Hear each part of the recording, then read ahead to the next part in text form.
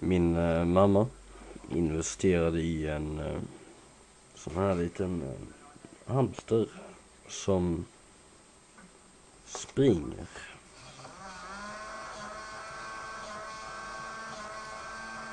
När man slår på tangentbordet.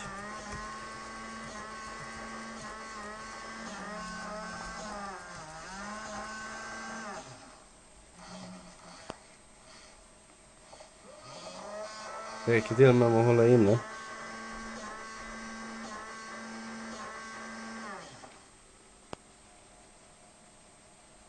Vilken fantastisk skapelse.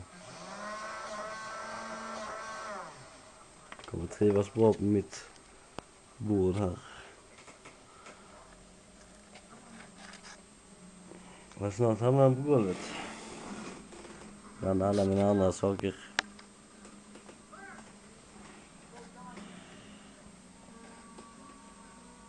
Nej, på tv.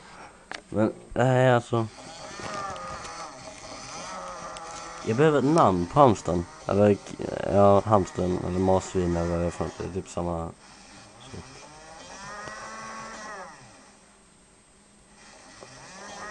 Och vi tar från en jättehäftig vinkel.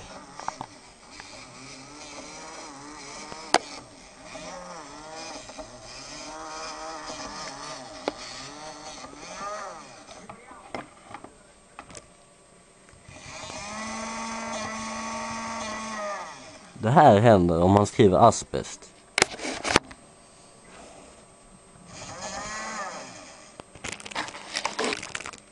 Jag gillar det. Ja, det var alltså min eh, första födelsedagspresent. Jag fick den lite i förtid. Fyller inte år förrän den elfte.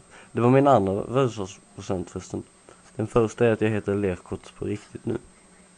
Det är rätt nice. Yeah, nice som fan faktiskt. Ehm, ja, tack för mig. Jag hoppas att jag blir frisk så att jag kan spela in musik som ni kan få lyssna på när ni vill. Och eh, hjälp mig döpa mongot här ja.